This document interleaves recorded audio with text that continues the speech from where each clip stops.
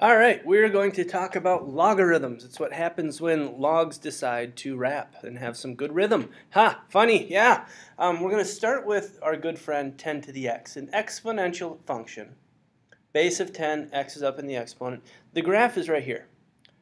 10 to the 0 is 1. 10 to the first would be 10. Let's talk about the inverse. Remember, inverses change or interchange the domain and range. So this point that was 0, 1, the inverse would have 1 comma 0 on it.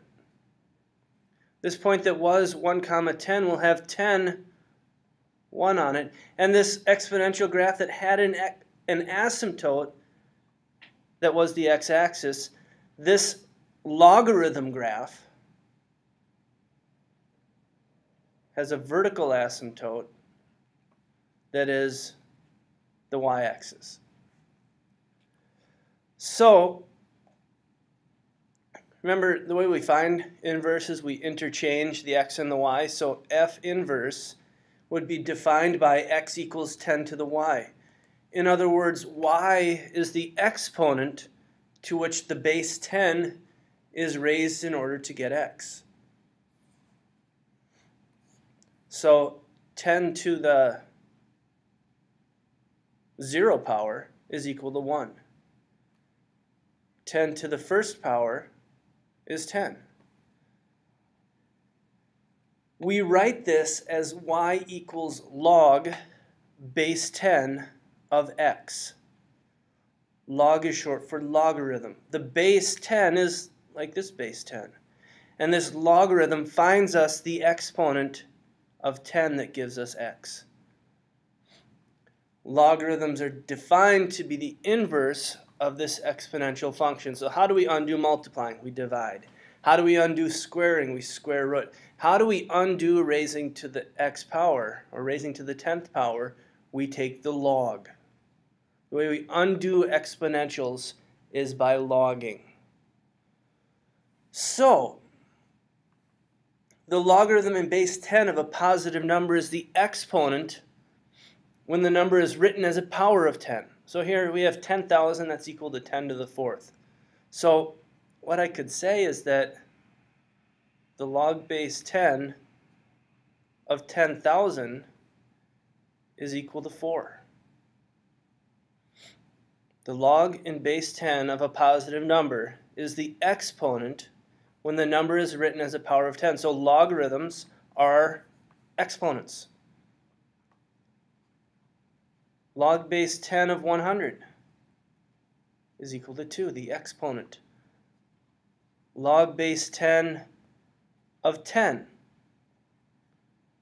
What's the exponent? 1. This one, log base 10 of 1. What's the exponent? 0. Log base 10 of 0 0.01 is equal to negative 2. So, a couple of properties here, and then we'll come back to this idea of rewriting exponential things in logarithm form. Um, if we have 10 to log base 10, and log base 10 of say 100, if we don't write a subscript down here, if we don't write a base, we're assuming that it's base 10. So this is equal to 2 because 10 squared is 100. So 10 to the log of a is just a. The log base 10 and the power of 10 cancel each other out. And then log base 10 of 10 to the x, again, those cancel each other out. They undo each other, leaving us with just the x. So without a calculator, find log of 100. Log base 10 of 10 squared is equal to 2. Log base 10 of 10 to the 1 fourth is equal to 1 fourth. And we can plug this into our calculator easy enough. So since I'm unprepared and don't have my calculator loaded. We'll come back to this in just a second. Let's go on here. I guess this says use your calculator also. So, let's look at what we do. Here it comes, here it comes. We're waiting patiently, waiting patiently. Um, so, you may have seen a button on your calculator or calculators in the past that said log. That's the button we're going to be using. Regular plain log is log base 10. Almost there, almost there. Here we go, loading the review workspace. And here it comes, here it comes, here it is. Yes.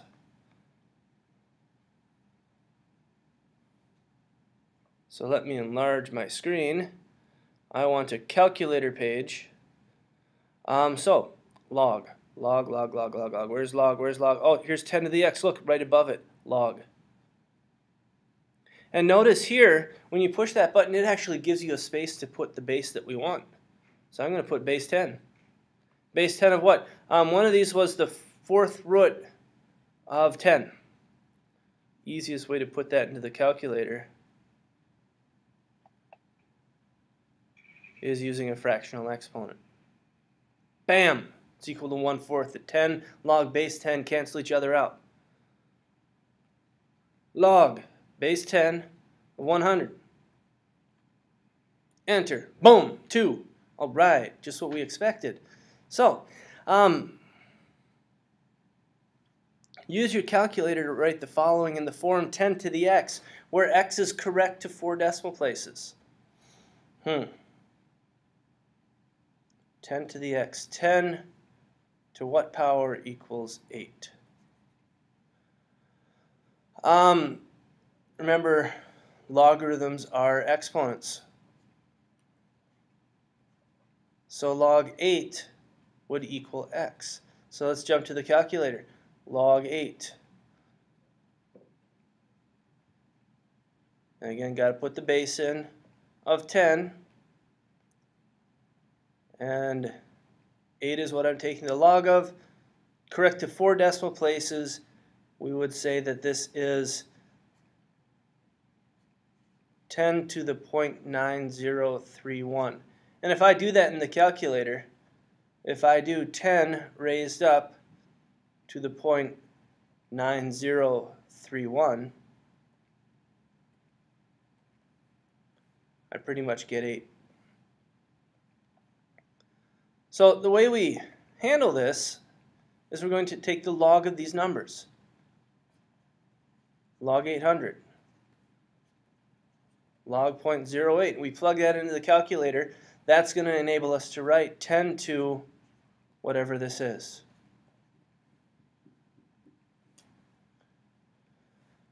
So, use the calculator to find log of 2. All right, log of 2. Log of 2, control, not base 2.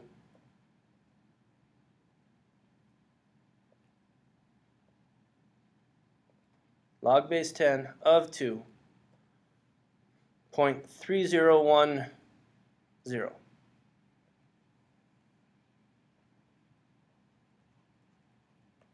Log of 20. Okay. Remember to put the base of 10 in. 1.301. Okay.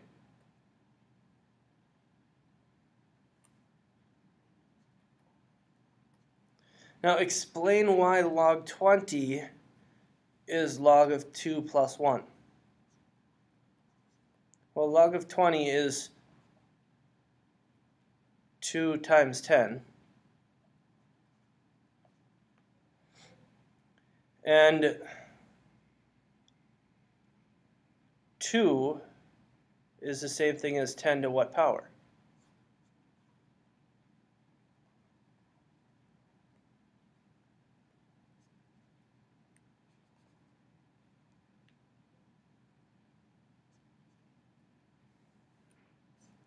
right? 2 is 10 to the point 3010. If you don't believe me, do it. And then 10 is the same thing as 10 to the first. Now we can use property of exponentials, log 10, I can add the exponents together. Now log base 10 of 10, blow it up. And that is exactly what we get here.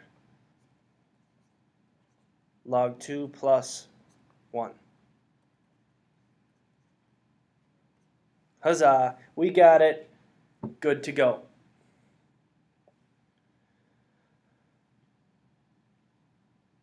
Find x if log of x equals 3. Um, this is kind of going backwards. Remember, logs are equal to exponents. Exponents of what? Exponents of the base. 10 to the third equals x. x is equal to 1,000. 10 to the negative 0.271 is going to be approximately x. To do this, we're going to go to our calculator. 10 to the negative 0.2, I forget what it is, 271.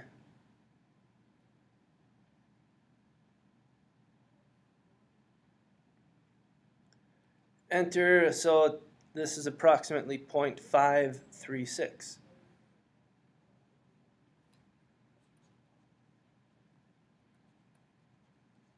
Logs really aren't that horrible. The thing to remember is logarithms equal exponents. Keep that in mind and this section is pretty manageable.